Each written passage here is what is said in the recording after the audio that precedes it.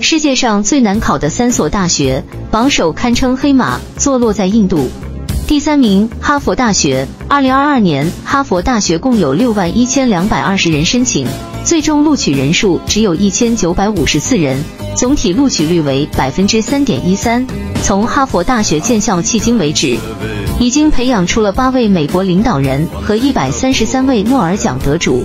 这样的荣耀是很多大学可望而不可及的，也是无数学子想考却考不进的。第二名，斯坦福大学。斯坦福建校一三七年，已经有超过八十三人获得诺贝尔奖，身价亿万的校友更是不计其数。作为世界第二难考的世界级大学，斯坦福的总体录取率已经低于百分之三了。第一名，印度理工大学。在印度，很多人都是考不上印度理工大学，才退而求其次的考麻省理工大学，足以证明这所学校的实力。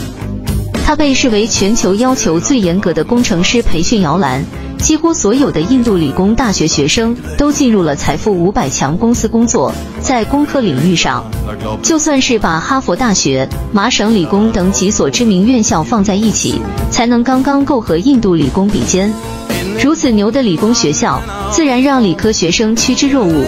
全世界已经有超过一百万的学生发出申请，但最后能被成功录取的只有一万名学生，录取率低于百分之一。